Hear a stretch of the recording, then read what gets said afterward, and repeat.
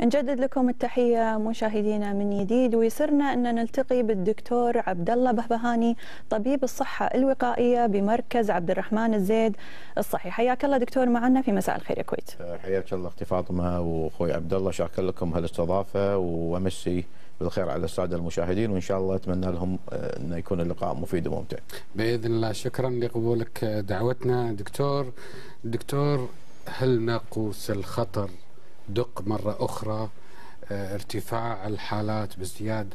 ما هي أسباب ارتفاع حالات الإصابة بكوفيد 19 نعم طبعا تحذيرات وتحذيرات وزارة الصحة والأطباء العاملين بالمجال الطبي صار لها أسابيع يعني مو وليدة اليوم واللحظة وكانوا يرون طبعا ويتوقعون إن حالات الارتفاع راح تزيد وتوصل لهالمرحلة. إحنا الآن وصلنا إلى تسع حالات وفاة للأسف اليوم ومنها طبعا إضافة إلى 133 حالة في العناية المركزة. هذا أعتقد إنه مؤشر خطر.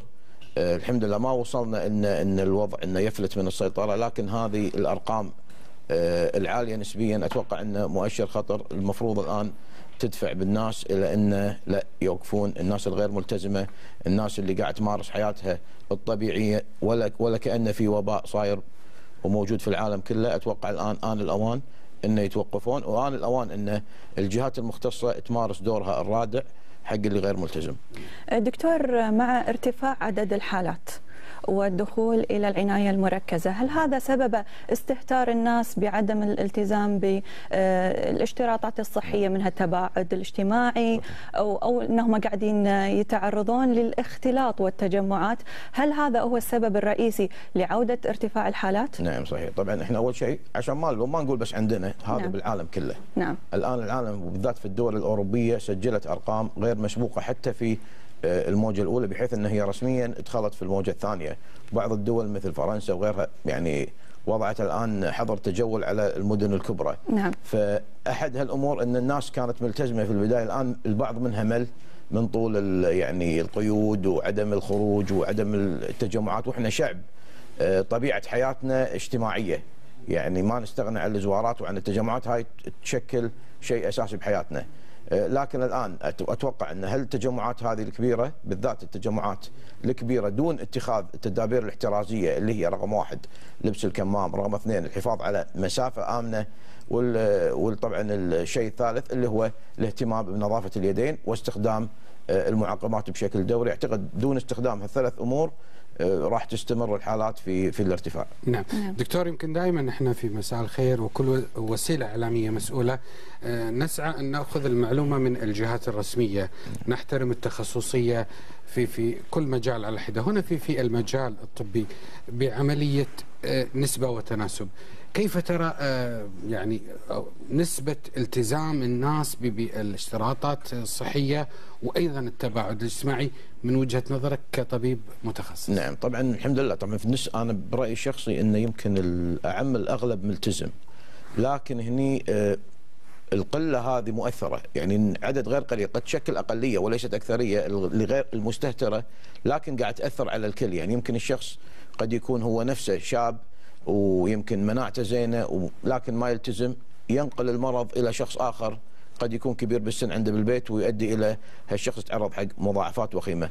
أبي أركز أكثر على مو اللي مو ملتزم، كل عارف المستهتر والغير ملتزم، على الناس اللي هم ظاهريا ملتزمين أو يعتقد إنه ملتزم لكن لا يلتزم الالتزام الكامل أو الالتزام الصحيح. يعني على سبيل المثال ارتداء الكمام، يلبس الكمام. لكن هو لا يلبس الكمام بالطريقة الصحيحة. الصحيحة. ما في شيء اسمه كمام. أنا منزله مخليه يكشف فقط يغطي الفم وجانب من الوجه ويكشف الأنف. طريقة نزع الكمام. لمس الجهة الأمامية من الكمام. أعتقد هذا أحد الأمور. لما يحط الكمام هو يعتقد أن أنا عندي سيفتي لبس القفازات الغير مبرر في بعض الأماكن يعطيه إحساس زائف بالأمان. فهؤلاء أو الشخص اللي مثلا في مجال عمله يكون ملتزم طول فترة العمل. لكن يقول ماكو مانع إن أنا مع زميلي أشرب شاي وقهوة. الاستثناءات البسيطة ممكن؟ تأثر, تأثر يعني واحد ملتزم طول فترة العمل بعدين يقعد يقعدون لمدة ربع ساعة مثلا يشربون مثلا بعض المشروبات الساخنة الشاي أو القهوة ويعتقد في قرارات نفسه إن أنا ملتزم. اذا هذا عملية عدم الالتزام الصحيح أتوقع هذه تأثر. نعم. دكتور إحنا يمكن بعد شفنا إعادة استخدام الكمام. يعني نشوف الناس بعد ما تخلص من الكمام إما إنها هي تعلقة في السيارة أو إنها هي تحطه يمها بطريقة غير صحية وترد تستخدمها مرة ثانية. فيا ريت لو توجه رسالة حق المشاهدين بما يخص هذا نعم الموضوع. طبعا بالنسبة حق الكمام هذا هو كمام حتى مكتوب عليه. كمام يستخدم لمرة واحدة فقط ديسبوزل نعم. يعني عدم استخدامه لمرة ثانية غير آمن. فبالتالي الشخص أيضا لما ينزع الكمام لازم ينزعه من يمكن الحلقة اللي حول الإذن نعم. اللي تكون غير ملوثة مو ياخذ مو يمسكه من الجانب الأمامي الطبقة الزرقاء آه، يرميه في يعني إذا عنده مثلا كيس زباله صغير يحطه فيه ما يخليه يقطه باي مكان في ناس عندهم أيضا رمي الكمام في في الشوارع وبالأماكن هذه يعني أعتقد هذا قاعد يعني ممكن يشكل خطر حتى على عمال النظافة وعلى الناس الآخرين. نعم. يمكن آه، دكتور آه، بين آه، الإنفلونزا العادية وأعراضها وكوفيد 19 في في تطابق خلينا نقول السواد الأعظم من المضاعفات هنا وهناك الإنفلونزا. لكن لو نتحدث دكتور عن تدشين وزارة الصحة لحملة التطعيم الموسمية للإنفلونزا من وين نبدأ؟ آه، أول شيء بالفعل أتفق معك هناك تشابه آه، كبير بالأعراض ارتفاع درجة حرارة آه، ممكن حتى فقد حاسه شم آلام بالجسم الكحة وما إلى ذلك ف آه، كلينيكيا ما نقدر نفرق إحنا بين الاثنين إلا يمكن بالمسحة وممكن حتى الإنسان يكون مصاب بال- بالمرضين في آن معا. بالنسبة حق الحملة اللي هي حملة سنوية كل سنة قاعد تسويها وزارة الصحة تبدا في شهر أكتوبر وتستمر طوال فترة الشتاء إلى نهاية يعني واستنفاذ كميات الطعوم. يمكن هالسنة آه، في شوية استعدادات أكثر آه، من غيرها. آه، فرضها إن يعني الرغبة في تطعيم عدد أكبر عدد ممكن من الناس. فإن شاء الله كمية الطعومات راح تصير خلال هالموسم هذا يعني أكثر من الضعف أكثر من ضعف الكمية. كم ماذا عن الكيف؟ مضمون هالتطعيم شنو؟ نعم. التطعيمات راح تكون تح- تحتوي على تطعيمين. تطعيم الإنفلونزا الموسمية هالسنة ولأول مرة بالكويت راح يكون التطعيم الرباعي الكوادريفيلنت آه، اللي هو يحمي من أربع سلالات. كل سنة كان يجي تطعيم من ثلاث سلالات. هذا تطعيم جديد يعني بالعالم اكتشفوه أو تم إنتاجه سنة 1914 آه، 2014 عفوا. والآن هذه أول مرة بالكويت هذه أول موسم فبالتالي راح يعطي حماية أكبر راح يوفر آه، حماية من أربع سلالات هي الأكثر شيوعا حسب ما تتوقعها آه، مراكز ال- المراقبة آه، والرصد التابع حق منظمة الصحة العالمية آه، راح يغطي سلالتين من فيروس إنفلونزا A وسلالتين من بي بالإضافة إلى التطعيم الثاني اللي هو تطعيم الالتهاب الرئوي. الكل عارف إن مرض الانفلونزا الموسمية كل سنة يتسبب في بشكل مباشر أو غير مباشر في وفاة حوالي نصف مليون شخص. مرض التهاب المكورات الرئوية يتسبب في يمكن وفاة مليون ستمائة ألف شخص. سنويا. نعم آه، دكتور آه، بما يخص آه، تطعيم الالتهاب الرئوي هل هذا مخصص لفئة معينة ولا كل الناس تأخذه؟ أو هو فقط اللي مثلا اللي عندهم ربو أو أمراض تنفسية؟ نعم طبعا بالنسبة حق مرض أو تطعيم النيموكوكل اولا هو بالكويت الحمد لله من 2007 كل الأطفال صار تطعيم روتيني إجباري حق الكل. كل نعم. اليهال من مواليد 2007 فما فوق ماخذين التطعيم هذا بواقع أربع آه، جرعات نعم. آه، الأمر الآخر بالنسبة حق الكبار هناك فئات معينة آه، يعني يوصى بأن تأخذ آه، التطعيم هذا آه، اولا مثلا عندنا مرضى الأمراض التنفسية كالربو وغيره آه، مرضى السمنة المفرطة آه، ال- المدخنين يعني بأفراط الناس اللي مثلا عندهم اختلالات في وظائف الكلى واعتلالات في وظائف الكبد ممكن يأخذون التطعيم بعض ال- امراض القلب آه، حتى الناس اللي مثلا عندهم أنيميا الخلايا المنجلية اللي هي ال sickle cell anemia آه، اللي عندهم مثلا بيسوون أو يعني أو عملوا عملية زراعة قوقعة الأذن وفي يعني أيضا في لستة يعني بعض ال- الأمراض هذه آه، نعم. وأيضا الاصح ينصح الأصحاء فوق ال 50 سنة حتى لو ما عندهم أي مشاكل صحية ياخذون التطعيم طبعا بالإضافة إلى الطواقم الطبية لأن الأكثر عرضة ممكن تتعامل مع آه، مرضى صحيح. فيفضل انه يكون عندهم التطعيم، التطعيم الموجود حاليا هو بريفينار 13 يحمي من 13 نمط آه، من أنماط المكورات الرئوية هي أكثر الأنماط يعني أكثر الأنماط ال- اللي تسبب معظم ال- الإصابات التهاب المكورات الرئوية. نعم، ما زلنا في التطعيم دكتور عبد الله يعني البعض آه، يتفق والبعض يختلف، البعض على دراية والبعض على جهل، ولكن هنا نحطها في ملعب آه، أصحاب الاختصاص. دكتور، يعني آه، هناك من يؤيد التطعيم وهناك من يرفض التطعيم كبسطاء خلينا نقول غير مدركين وعارفين. هل في آثار إيجابية للتطعيم على لمقاومة الإنفلونزا؟ ذكرت ان في أربع أنواع. إي طبعا هالاربع أنواع أنواع سلالات يعني مم. أنواع من الفيروس نفسه طيب. والفيروس هذا يتغير كل سنة. يعني السلالات اللي تنتشر في الجو تتغير سنويا بالتالي التطعيم يتغير. بالنسبة حق الآثار الإيجابية حق التطعيم لا هي لا تعد ولا تحصى ومؤكدة. آه، يعني مثلا مو بس بالإنفلونزا خلينا نطرح أمثلة على مرض الجدري. مرض الجدري كان في أوروبا يعني في القرون الوسطى يعني يؤدي إلى وفاة أكثر من 400 ألف شخص سنويا. الآن هذا المرض انتهى خلاص. آه، مرض شلل الأطفال كانت الحالات يعني عدد كبير جدا منذ إدخال التطعيم بنوعيه.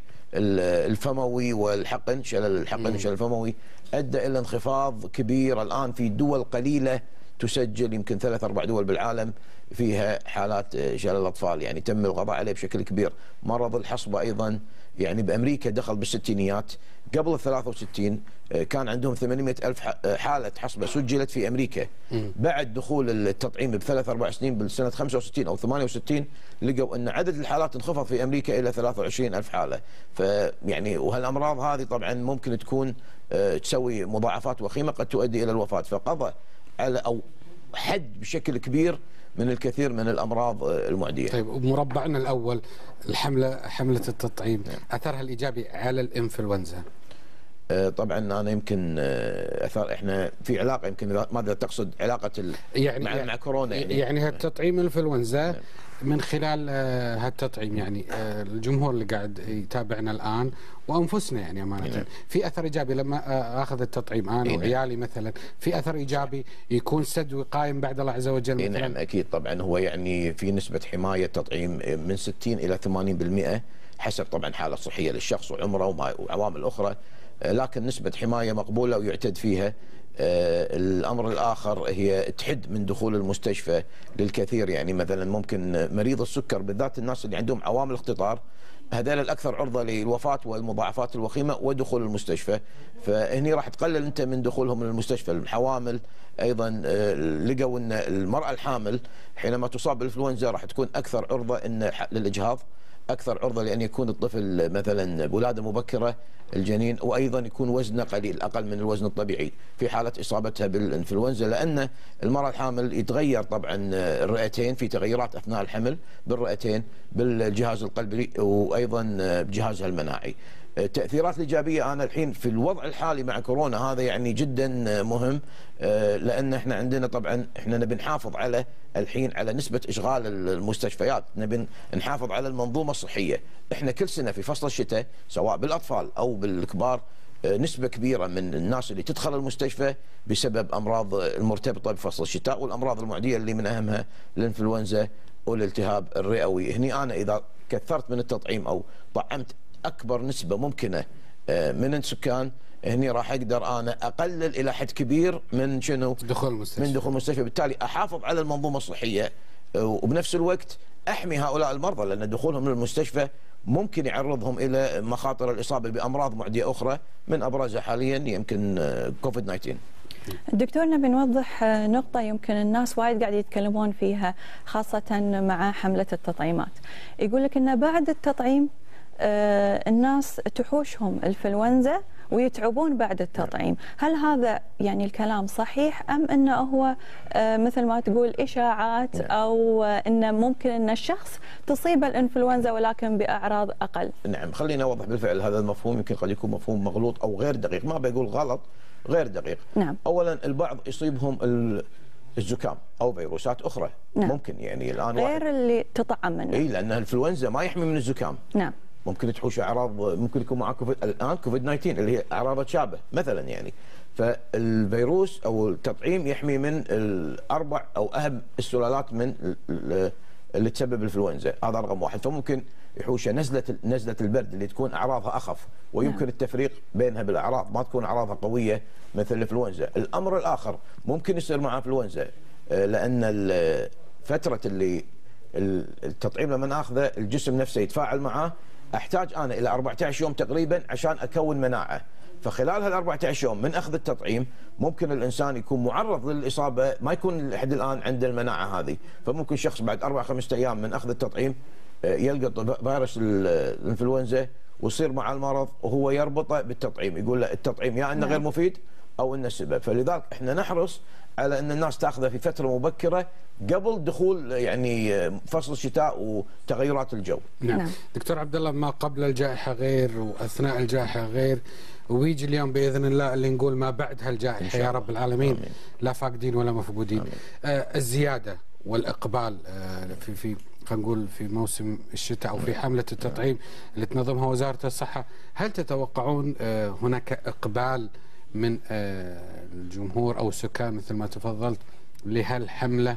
لا بالعكس كان في إقبال كبير ويمكن فوق المتوقع. يعني إحنا توقعنا إن متوقعين إن في ناس عدد أكبر من الناس راح تقبل على التطعيم لكن كان العدد كبير يعني وفوق يعني التصور. ولكن كان في استعدادات من الوزارة. هالسنة تمت مضاعفة حقيقة مراكز التطعيم إحنا في كل عندنا بالكويت تقريبا 34 مركز صحة وقائية يعني منتشرة في عموم محافظات الكويت. هذه المراكز الوقائيه وللعادة تنحصر فيها تطعيمات الإنفلونزا أو تطعيمات الشتاء هالسنة آه، تم مضاعفة العدد بحيث إنه يصير عندنا في المستوصفات والمراكز الصحية تقريبا 66 آه، مركز صحي آه، في الفترة الصباحية. دكتور. إي نعم. وبالفترة المسائية 27 مركز. أي الخفاره يطعمون الإنفلونزا.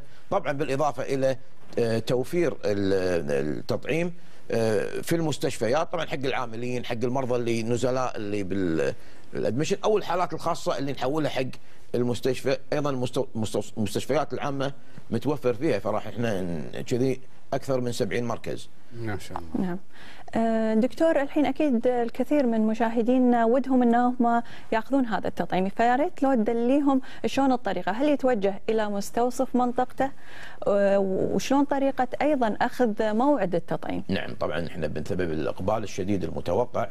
وأيضا بنفس الوقت إحنا يعني رغم إن هالشيء يفرح يعني ما أشوف أنا الناس مزدحمة عليه لكن بنفس الوقت مع حرصنا على يعني تكريس التباعد الاجتماعي. ما نبي الناس بعد تكون تتزاحم بالم... آه، آه، بالمراكز الصحية بحيث يؤدي يعني إلى زيادة آه، مخاطر أو عدوى انتقال نعم. مرض كورونا فاللي صار الآن انه تم تنظيم المواعيد أخذ المواعيد الإلكترونية نعم.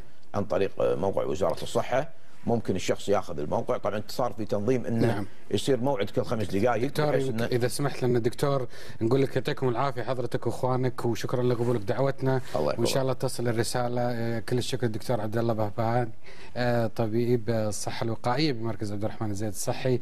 على مشاركتك معنا فاصل وراجعين.